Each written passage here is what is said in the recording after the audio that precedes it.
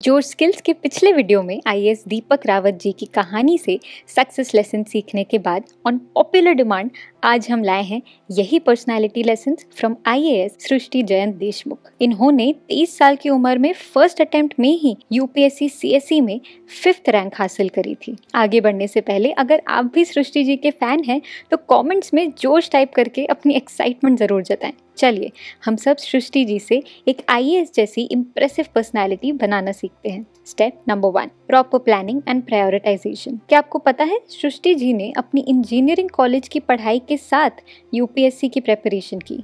और तो और, उनके कॉलेज के फाइनल एग्ज़ाम्स के जस्ट 14 डेज़ बाद यूपीएससी प्रीलिम्स थी। ये सब मैनेज करने का एक ही तरीका है विच इज़ प्रॉपर प्लानिंग जो बताया है उन्होंने इस वीडियो में। अपने दिन को कंट्रोल करना बेहद ज़रूरी है you know first of all just find out कि आपका टाइम जाता कहाँ है। Many times we don't know time just flies when to the class given the test खत्म। खाना खाया, थोड़ा एंटरटेनमेंट किया एंड इट्स डन ऐसा मत होने दीजिए। Just control your day find out कि every single day what's happening in my day okay हर दिन का आप एक टारगेट बनाइए कि इस दिन मुझे ये करना है। रात को जब आप उस टारगेट पे एक छोटा टिक लगाएँगे ना तो लगेगा, आज का दिन अच्छे से पढ़ाई किया है।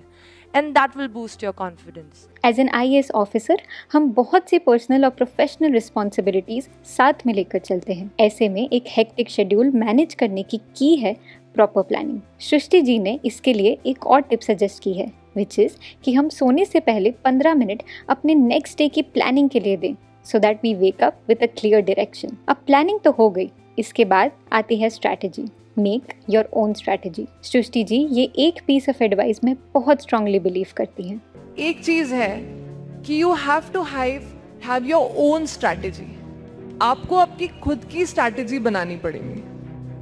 हम क्या करते हैं, सोचते हैं, ये इनका है, जैसे आप आज मुझे सुनने आए हैं। आप मुझसे ले सकते हैं कुछ चीज़ें, पर स्ट्रैटेजी आपकी खुद की बनेगी। ऐसा क्यों? क्योंकि हम सबके बैकग्राउंड्स डिफरेंट हैं। हम कहीं से आते हैं, हमारे परिवार डिफरेंट है, हमारे एजुकेशनल बैकग्राउंड्स डिफरेंट है, हमारी सोच अलग है। हम कोई सब्जेक्ट पढ़ते हैं, किसी को हिस्ट्री अच्छा लगता है, किसी को पॉलिटी पसंद आता है।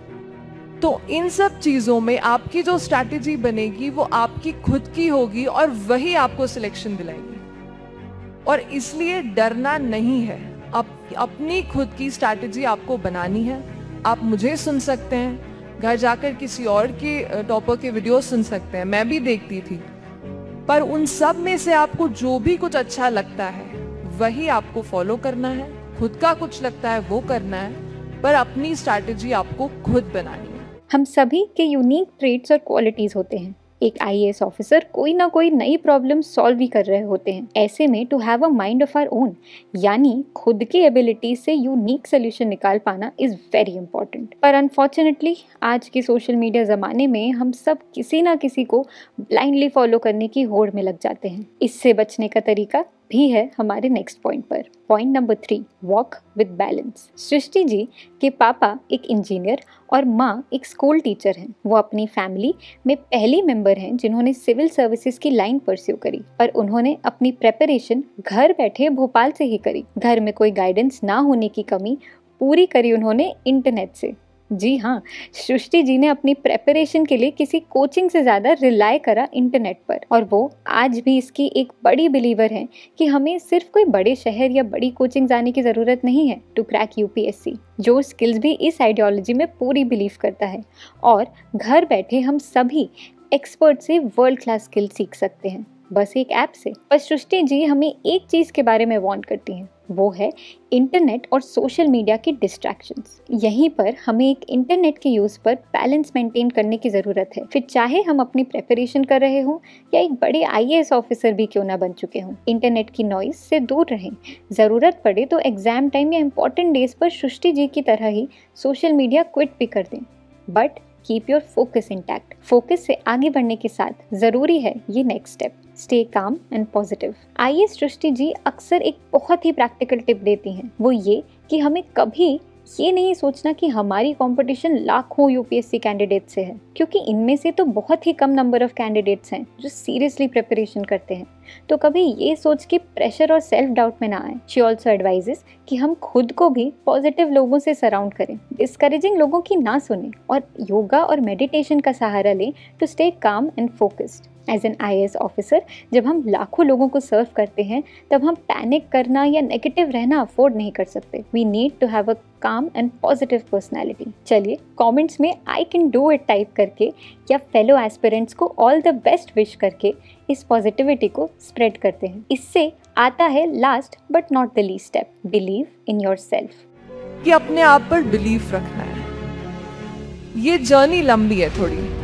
एक साल पूरा एग्ज़ाम ले लेता है। उसके पहले आप एक आध डेढ़ साल से पहले से प्रिपेयर करते हैं वो हो जाता है। उसके पहले कभी सोच रहे हो तो उतना टाइम हो जाता है। तो जर्नी लंबी है।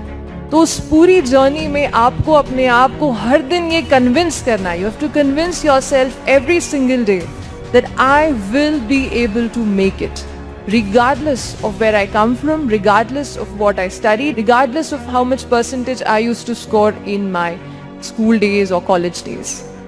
You have to convince yourself every single day that yes, I will make it. Life में कुछ भी अचीव करने के लिए सबसे पहले तो ज़रूरी ये है कि हम खुद में बिलीव करें। I can do it attitude रखें और चैलेंजेस से ना डरें as Srishti ji says challenges are meant to be challenged इनसे डरे नहीं इनसे लड़े। वी होप आपको सृष्टि जी की इन क्वालिटीज़ से इंस्पिरेशन ज़रूर मिली होगी। इफ़ यस तो लाइक बटन ज़रूर दबाएँ। सो दैट हमें मोटिवेशन मिले to make more such videos अगर आप भी एक आई एस्पिरेंट हैं तो कमेंट्स में ज़रूर बताएँ कि जो स्किल्स के साथ आप और क्या सीखना चाहते हैं। और अपने फेलो आई एस्पिरेंट दोस्तों से ये शेयर भी करें। Keep learning with Josh Skills शायद मैं आई बन भी जाऊँ तो मुझे इंग्लिश शायद नहीं बोल पाऊँगा।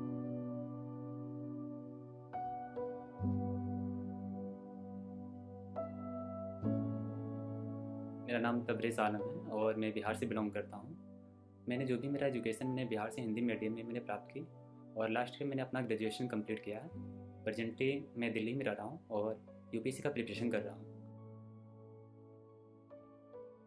तो प्रॉब्लम जो सबसे बड़ा जो प्रॉब्लम होता है कि जैसे आप हिंदी मीडियम स्कूल जब प्राप्त करते हैं तो क्या होता है कि जब कोई अगर आपसे कोई प्रश्न पूछता है इंग्लिश में तो आप तो उसके बारे में जानकारी आपको होता है, बट क्या होता है कि लैंग्वेज का ना आप उस इंग्लिश में एक्सप्लेन नहीं कर पाते।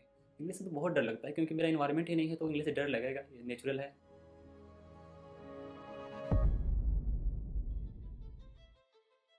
मैंने जो स्किल एप्लीकेशन के बारे में मैंने सुना तो मैंने जिस स्किल के बारे में सुना और जाकर उसे इंस्टॉल भी किया था, और मैंने उसकी जो भी प्रोसेस है, मैंने उसे जाना और इंग्लिश स्पीकिंग कोर्स के लिए मैंने क्लास स्टार्ट कर दिया।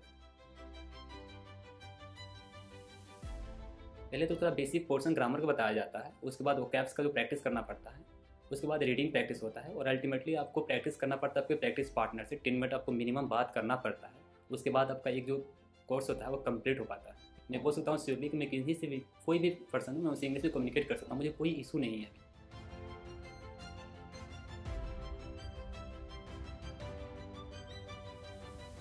सो so, जो स्किल ने काफ़ी हेल्प किया मेरी कम्युनिकेशन स्किल को इम्प्रूव करने में। So that why today I am here so first of all I would like to thank Josh Skill who really helped me a lot to improve my communication skill.